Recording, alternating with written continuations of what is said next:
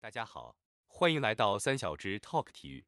目前全红婵回家已经有好几天了，而在这段时间，全红婵也算是玩起来了。特别是在今天，全红婵展现了非常接地气的举动，其中她会骑着电驴出去游玩。其实，在第一天的时候，全红婵就骑着电驴，因为她还没有十八岁，也没有驾照，所以只能骑电驴。骑电驴也好，拉风。九月十五日。全红婵和发小还有姐姐一起在麦河村的小河里抓鱼。全红婵和发小一起在水沟里打闹玩乐，回忆儿时的美好。昔日在奥运场上的冠军，回农村之后和普通人无异。谁能想到这个可爱的孩子回到家就像是脱缰的野马，做小时候的那些开心事情。镜头之中的全红婵将棒球帽反戴着，然后手里拿着一根鱼竿。同村的发小帮助他将钓竿上的鱼食给装好，然后大家一起守在河边上钓鱼。也许是钓到了大鱼跑了，又或许是当时没有钓到鱼，于是发小动员大家一起到河里抓鱼。仔细看，全红婵也加入其中，小伙伴们一起下河抓鱼，哈哈，超有趣的画面。全红婵在河边上摸鱼，这一刻，估计他忘记了自己是奥运冠军，是跳水界的新星。估计他只记得自己是麦河村昔日的抓鱼娃娃兵吧。接地气的全红婵，哪怕是成为了奥运冠军，哪怕是已经功成名就了，但回到家之后，仍旧还是大家眼中的那个婵宝。网友，他真的好接地气，难怪大家都喜欢他，一点都没有架子。功成名就了，是奥运冠军了，站在了跳水界的顶峰。但全红婵和发小仍旧感情如初，大家还像是没有长大的孩子。一起在小河里摸鱼，这一种场景，这一种对童年的回忆，这金钱和荣誉都无法替代的。在摸鱼过后，全红婵和姐姐一起带着发小又到了夜市里吃路边摊。在夜宵摊前的全红婵看着姐姐拿手机摇人吃夜宵，哈哈，好有画面感。说实话，像全红婵这样子拿到了全球最高荣誉的奥运冠军，回到农村老家还这般接地气。像他这样子的真的不多了，难怪大家都喜欢他。从他的身上，我们看到了率性、努力、朴实，内心单纯善良。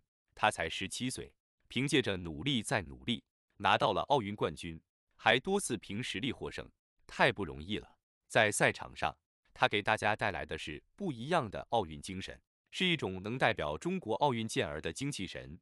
回到家。我们从全红婵的身上看到了年轻时候的身影，内心里感觉到特别的幸福。网友评价全红婵喜欢婵宝，并不单纯只是奥运冠军的头衔，她的身上有集合了普通人最朴实的精神，她代表着千千万万的普通年轻人。在所有活动结束后，全红婵还和自己的亲戚进行合影，以此来留纪念。就这个时刻，再度展现了全红婵的俏皮。当然，重头戏还是全红婵带娃，家里好几个娃都是全红婵来抱着，甚至她还偷偷吸了一口，因为现在中秋节假期已经开始了，家里人也都放假了，所以她也可以好好疼爱一下自己家的孩子。下雨天，全红婵抱着小孩，不忘用手盖在小孩的头，不让雨水淋着，太有爱心了。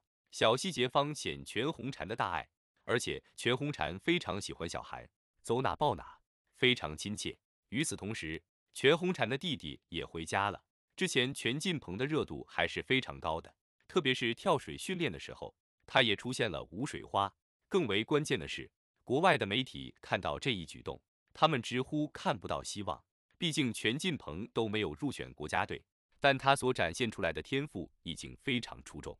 看看在未来的全国比赛，全进鹏有没有可能给到惊喜吧。奥运冠军全红婵被所有人低估了。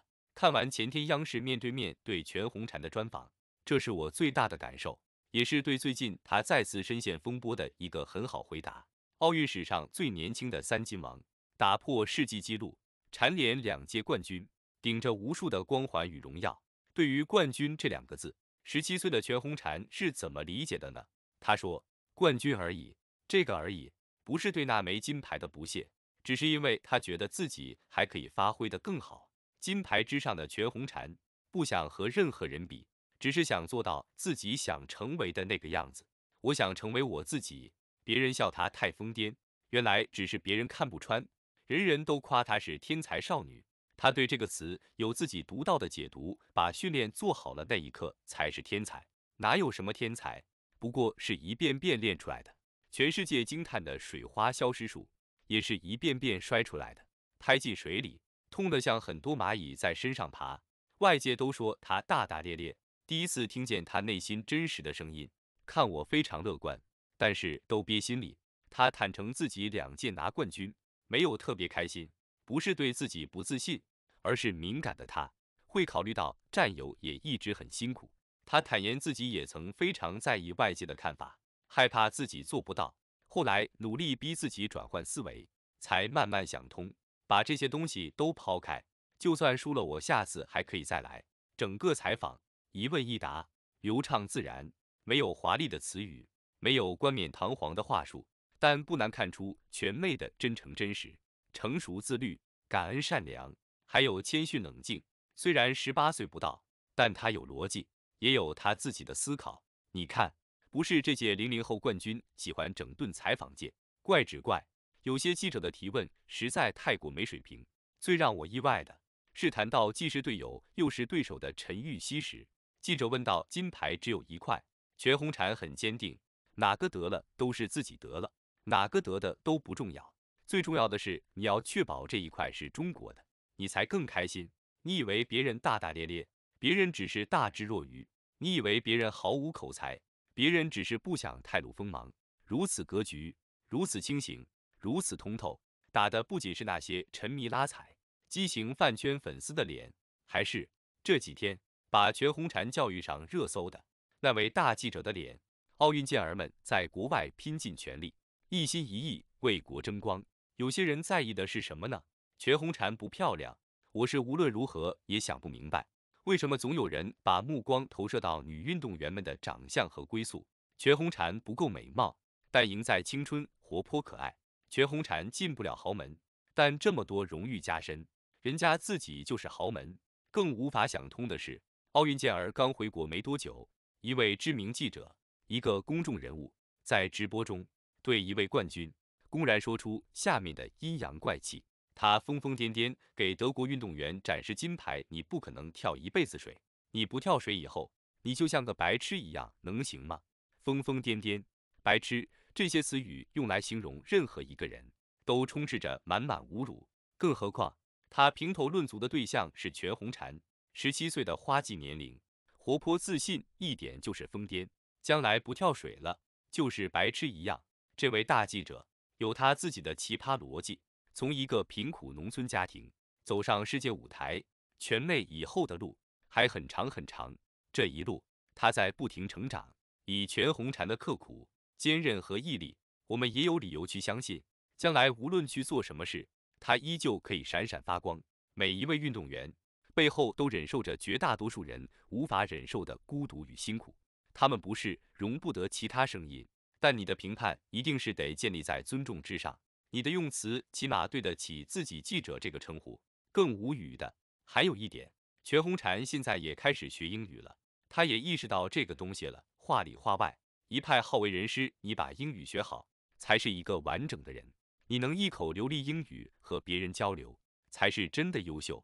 会说英语的人不计其数，三金王全红婵却只有一个。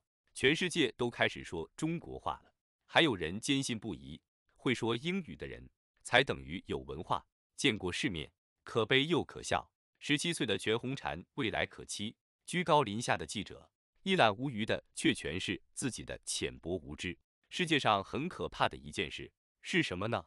不是批评别人，而是随心所欲，按自己的标准，在自己的理论里攻击别人的人生，成功惹众怒的这位大记者就是后者。可能经常接触国外采访，英文是他必备的技能。于是他便把会说英语归结于有文化，把能和外国人侃侃而谈当作见过世面。可会说英语从来不是所有人的头等大事。中国又有多少人不会说，甚至从来都未曾学习过、接触过？一位同样做过记者的网友谈及自己对这起事件的真实感受：当记者久了，永远在记录别人的生活，对生活就失去了参与感和实感。评价别人是容易的。也是过于轻易和武断的，却忘了道理是抽象的。但每个人都是有血有肉的，像极了虚浮于这个世界的一群人，习惯了灯红酒绿，看惯了热闹繁华，便以为大家都是。更可笑的是，在他们的系统认知里，只有喝过星巴克、吃过米其林才是有品位，只有坐过飞机、住过五星级酒店才算见过世面。坐在自己那口井里，他们看不到别人的世界。所以，有人没吃过海底捞。在他们看来很震惊，有人没坐过地铁，在他们看来是离谱。揣着优越感，以为自己是全世界最见过世面的人，殊不知自己早成了坐井观天里的那只蛙。